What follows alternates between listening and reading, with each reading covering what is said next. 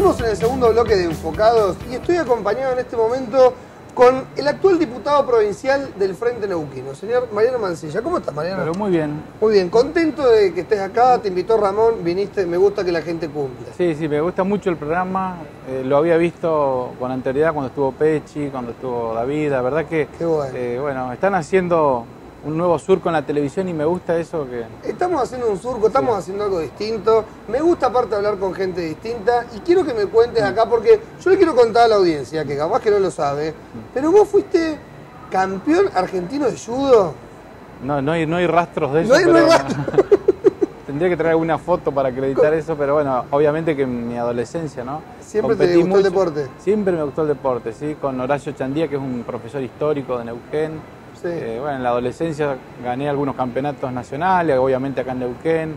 Este, soy cinturón negro de judo, de la parte más deportiva que la espiritual, porque el judo tiene una parte que Una tiene, parte- tiene una parte espiritual el judo, yo Sí, siempre pensé sí, que era solamente No, una no, cuestión de es- deporte. tiene, tiene, digamos, una impronta muy deportiva, pero hay mucha gente que no lo, no lo hace deportivamente Mira. y lo hace más por el lado del arte marcial, de la formación personal. Eh, bueno, y eso ayuda mucho en la vida, en todo, a- tener paciencia, a, Centrarse. eh, es así que bueno, eso me ha ayudado para el estudio, para la política, para el trabajo. No, no, han, este- no han enfocado, pero en ponerle onda vamos a hacer una pelea en algún momento.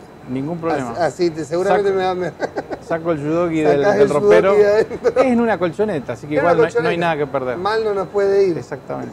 Y del judo pasaste por algún otro deporte y empezaste como, mm, como secretario, como delegado del, del curso, presidente Sí. del centro de estudiantes. Del, Sí, de no. chiquito te picó un poco el bichito este de Sí, decir, quiero trabajar por las cosas que le hagan bien a mis compañeros. Sí, te- tuve, este, nosotros pertenezco a una generación que somos como los hijos de la democracia. El- En el, el primer año del secundario coincidió con el primer año de democracia Claro. y eso nos hizo... Importante año.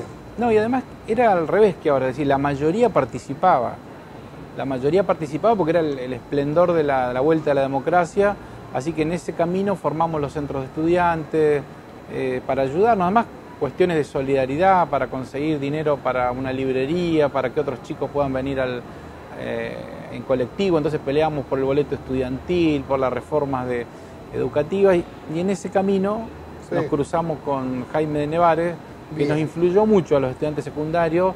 Eh, Estuvimos hablando un poquito de Jaime de Nevares sí. el otro día con Ramón Río Seco, Sí. pero me gustaría que me, que me cuentes vos desde tu lugar un poco quién era Sí. Jaime de Nevares y cómo influye en esta, en esta carrera que después decidís seguir. Sí, yo lo Porque además sos abogado. Sí, bueno, mucho tiene que ver con eso y lo menciono siempre porque eh, de Nevares era cura y era abogado.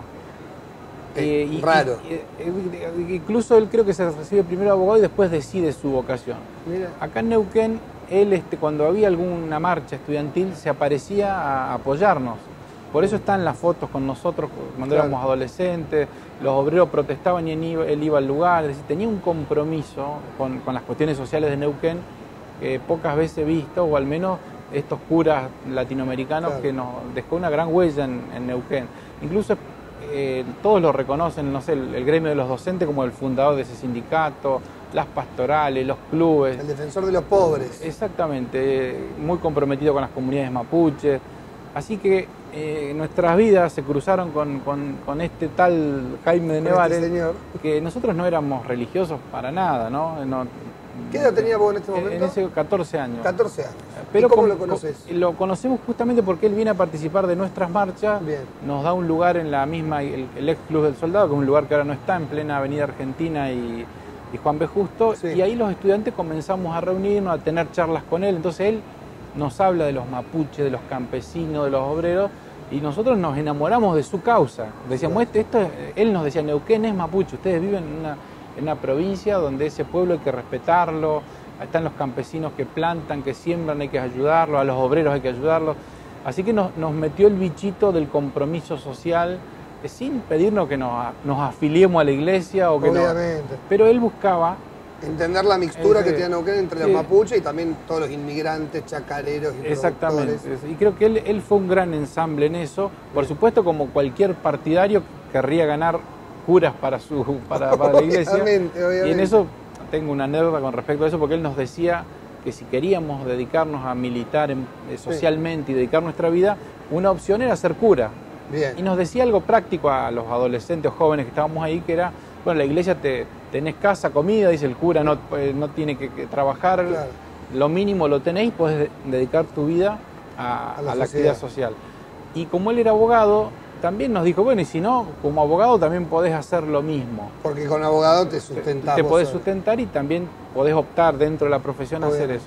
Y te hiciste abogado. Y me hice abogado porque el celibato era algo muy duro es de, algo muy duro de sobrellevar. Así que abogado recibido en la Facultad de Derecho. en la Facultad de Derecho de la Universidad Nacional del del Comahue. Comahue, eh, Bien de y- acá. Y, todo ese grupo de, de- de neuquinos que fuimos a estudiar Sí. con estas ideas, volvimos y al otro día que nos recibimos nos transformamos en abogados de las comunidades mapuche, de los gremios estatales, de los obreros, por, por una opción por, vocacional con estos sectores a los que de Nevares tanto nos había De ahí que está junto hablado. con ATE, con ATEN, con la Confederación Mapuche. Exactamente, ese, ese es un poco el, el- el destino que, que- que me llevó a eso y que me hizo que esto, ya más de 20 años que llevo ejerciendo la profesión, caminando con, con estos sectores sociales y ampliando un poco más. Hago a veces otras cosas como abogado, pero en líneas generales me concentro en Eso esos te iba a preguntar, ¿cómo vivís tu vida personal un poco entre la, la parte de- del Mariano abogado Mm. y el Mariano político? ¿Van de la mano? Sí. ¿Haces un poco y un poco? Sí, me, me- me vi envuelto en la política, porque el, el- el trabajo como abogado siempre tiene un límite. Es decir, ayudar a una comunidad, ayudar a que un barrio pueda lograr que se entube en un canal, entonces ahí estamos haciendo amparos ambientales. Pero hay un momento en el 2005, 2006 que pensé, bueno, pero esto no lo puedo, no- eh, bueno, me lo voy a pasar toda la vida haciendo juicio, esto hay que cambiarlo de raíz, acá hace raíz. falta un cambio político, entonces como había participado en política desde más joven, terminamos armando un partido entre neuquinos, por eso se llama Unión de los Neuquinos, eh, como una idea de hacer un aporte a la política. a la política. Tratando de que la política no nos cambie a nosotros y nosotros, Y nosotros seamos los que la- hacer un aporte. En- e, bueno. Estamos en eso. Si en algún momento pienso que la política me empezó a cambiar y me entré a acomodar en el sillón, abandono. Vuelvo al otro. y vuelvo, Está sigo de abogado y bueno, el Te- inter- Tengo ganas de preguntarte un montón de cosas, Mariano. El tiempo eh, Sí. es tirano, ¿viste cómo, viste cómo es la televisión. Sí. Pero te quiero hacer una pregunta. Además de ser diputado provincial, ¿vas por, el, ¿vas por concejal ahora? Voy por concejal, porque en este armado de- del Frente Neuquino, las Sí. elecciones de la ciudad son juntas. Yo fui concejal como seis años, fui secretario de gobierno. Me gusta la, la capital donde nací, donde nacieron mis viejos, mis abuelos. Pertenezco a una familia pionera Pionera, ¿no? del barrio Belgrano. del barrio Belgrano y mi abuelo tenía la tiendita en la capital, ahí en la calle Sarmiento, que es una tienda de más de 200 años o 150 años acá en Neuquén.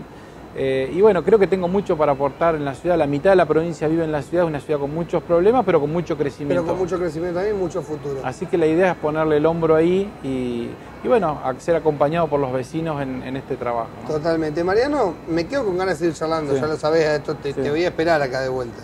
Acá está el Queda, eh, queda la invitación y hecha. queda el desafío del tatami, ¿no? y De queda la- el desafío de del lucha. tatami Sí. para ponerle onda. Ahora te voy a hacer una propuesta. Sí. ¿Te gustaría invitar a alguien a que venga como Ramón te invitó a vos? ¿Te gustaría invitar Sí. a alguien a que venga acá al programa? Bueno, vamos a hacer lo siguiente. Te voy a pedir que agarres tu celular, que busques un contacto por WhatsApp y me digas a quién te gustaría invitar. Sí. Eh, Lo voy a invitar la- en vivo. No, la verdad que tengo para invitar cantidades de personas que me gustaría, porque me gusta el programa, los voy a invitar a todos a que lo vean. Bien, eso- esa es la parte Sí, interesante. Pero voy a invitar a un deportista. Deportista, bien, me gustó. Es un neuquino, ha ido a las Olimpiadas de Junín, pero está viviendo en Plotier. Bien. Tiene el récord nacional en 10.000 metros. Es- no está muy difundido, se llama Carriqueo. Eh, es un gran corredor y quiere ir a las próximas Olimpiadas. Está buscando Bien. apoyo. Tenemos que traer esa y que- gente y enfocada. Y hay, que apoyarlo porque nos, nos puede representar a los neuquinos en una Olimpiada y creo que es un gran honor para todos. Totalmente. Bueno, vamos a grabar el video. Espera, pero vamos a ponerlo de costado. Así, y vamos a poner la cámara para acá porque si no se va a ver la producción y viste cuando grabás el video que queda así. Queda al revés. Que queda al revés y decís, ¿por qué hice esto? Bueno, yo lo pongo a grabar y vos lo invitás. Dale. ¿Perfecto? Bien, ahí estamos grabando. Bueno, seguramente estás viendo el programa. eh, le comenté del programa. Bien, eso es importante. eh, es un gran corredor, carriqueo, un neuquino que queremos mucho. Quiere ir a las Olimpiadas, así que te, te invitamos a este programa para, para que vengas a ser parte y cuentes el, el desafío que tenés ante, ante tu vida y al que nosotros te queremos acompañar para que en las próximas Olimpiadas representes al país, pero también a, a Neuquén. ¿no? Esa es la gente que queremos traer acá. Buenísimo. ¿Y sabes qué vamos a hacer? Mientras la producción me alcanza el teléfono para grabar el mensaje de selfie, Sí. para despedirnos con, para despedirnos con eso, te quiero contar a vos que en Productos BZ tenés un descuento muy especial de parte de Enfocados. Mira. BZ, productos diseñados para cuidarnos por dentro y mimarnos por fuera. Busca nuestros locales BZ en Ministro González 20 y en Alto Comahue Shopping, Neuquén Capital. Y ahora sí, estamos con el mensajito, con el teléfono en selfie. Mensaje de selfie, Mariano. Acá está la cámara. Yo quiero que le hables a la gente que está del otro lado. A la gente que te está viendo, al neuquino que está, obviamente, dentro de la ciudad de Neuquén o dentro de la provincia y le transmitas un mensaje. Lo que vos quieras a partir de este momento. Bueno, los neuquinos somos muy protestones, así que seguramente te levantás todos los días quejándote por las cosas que están mal. Lo que te propongo es que no te quedes en la tribuna viendo cómo otros juegan el partido por vos, que te metas, que te comprometas, metete en política, metete en el club, metete en el sindicato. Eh, creo que esa es la única forma que tenemos de, sacar las cosas adelante. Eh, me encantó. Y además, ¿sabes qué, qué queda muy bien para tu mensaje? Nuestro eslogan de enfocados. Porque la realidad siempre cambia, depende del foco en el que la mires. ¿Cierto? Muy bueno. Muy bueno. Los esperamos a todos entonces. Nosotros nos vamos. Muchísimas gracias. Los esperamos el próximo miércoles, 22.30 horas, acá por Somos Valle.